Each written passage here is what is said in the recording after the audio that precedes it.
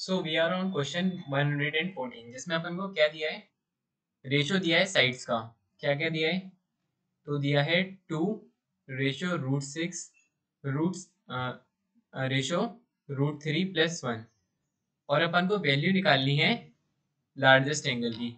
तो largest angle वो होगा जो इसकी जो साइड है, ये जो साइड है रूट थ्री प्लस वन इसके अपोजिट होगा।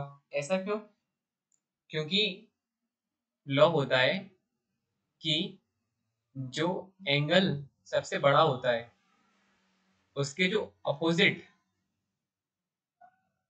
साइड होती है, वो सबसे बड़ी होती है, ठीक है? तो इसमें जो सबसे बड़ी साइड है वो कितनी दी है? रूट थ्री प्लस वन तो इसके अपोजिट एंगल सबसे बड़ा होगा, ठीक है? तो अपन को फॉर्मूला पता है कॉस अगर ये सी है तो ये कॉस सी हो जाएगा, कितना होगा? A square plus B square minus C square upon two A B ठीक है? तो इसमें से सी स्क्वेयर की वैल्यू कितनी आ जाएगी? A square plus B square minus two A B cos C और अपन को कॉस सी की वैल्यू निकालनी है तो जिससे अपनी सी की वैल्यू आ जाएगी। तो सी स्क्वायर कितना हो जाएगा? रूट थ्री प्लस वन का होल स्क्वायर ए क्या दिया है? टू बी क्या हो जाएगा?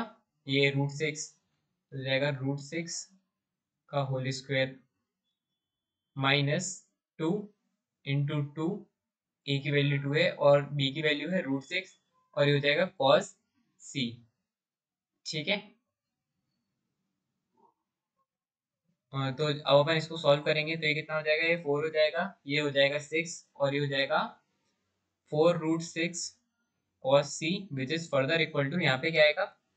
एक आएगा three plus one plus two root three ठीक है?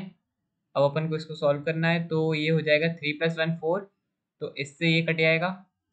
और ये कितना हो जाएगा? Six minus two root three upon four root six okay six minus two root three upon four root six which is equal to cos C तो इसमें से अपन टू कॉमन ले लेंगे ऊपर में से तो हो जाएगा three minus root three upon two root six ठीक है? और ये वैल्यू होती है कॉस सेवेंटी फाइव डिग्री की। ये मेरे को कैसे पता? क्योंकि इसको आपको याद करनी पड़ेगी। जैसे कुछ रेशो है ना, जैसे कि ऐसे आप निकाल भी सकते हैं वैसे ऐसे कैसे? फोर्टी फाइव प्लस थर्टी करके। ऐसे आप सॉल्व करेंगे तो ये वैल्यू आ जाएगी। और एक किसके इक्वल है कॉस सी के। तो सी किसके इक्वल हो जाएगा? सेवेंटी फाइव डिग्री के।